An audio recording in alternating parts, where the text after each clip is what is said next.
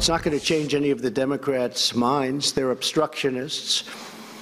They're actually con artists because they know how quality this man is, and they've destroyed a man's reputation, and they want to destroy it even more.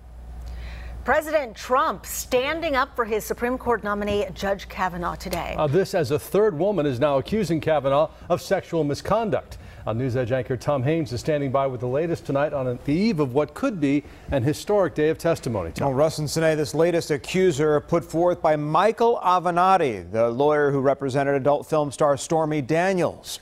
Tonight, Fox News is reporting an ex-boyfriend of the accuser, Julie Swetnick, claims he filed a restraining order against her in 2001 after he broke up with her.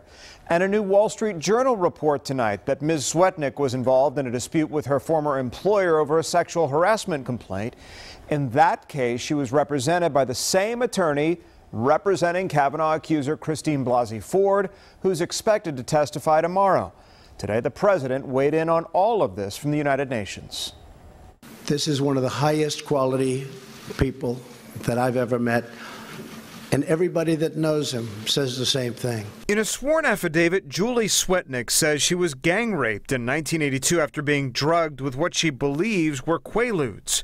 She names Brett Kavanaugh as one of the boys who would spike the punch at parties so girls would lose their ability to say no. Attorney Michael Avenatti released Swetnick's allegations, which also claimed Kavanaugh was verbally abusive and physically aggressive toward girls. President Trump tweeted in defense of his nominee, calling Avenatti a third rate lawyer. Earlier this week, Judge Kavanaugh categorically denied sexual misconduct allegations. That's totally false and outrageous. Never done any such thing, known about any such thing. Kavanaugh even releasing his high school calendar, which he says is exculpatory evidence. It shows Kavanaugh was grounded in May of 1982. But it also puts him at Beach Week, which Swetnick specifically named. These allegations are absolutely breathtaking. Judiciary Committee Chairman Chuck Grassley says lawyers immediately reached out to contact the accuser, and Senator Flake said he hopes tomorrow's hearings will give them guidance on the confirmation vote. Up or down, yes or no, however this vote goes, I'm confident in saying that it will forever be steeped in doubt. The Wall Street Journal is also reporting tonight Ms. Swetnick has had recent run-ins with tax authorities. Just last year, the IRS filing a lien on her Washington, D.C. home. Mr. Avenatti said he extensively vetted his client's allegations. Russ? Well, Tom, as you know, many Republicans are pushing for a vote on Kavanaugh's confirmation despite those assault allegations. It's a move that Fox News political analyst Juan Williams says could spell trouble for the upcoming midterm elections. With public support for Kavanaugh waning, Williams says rushing toward confirmation could have an effect at the polls.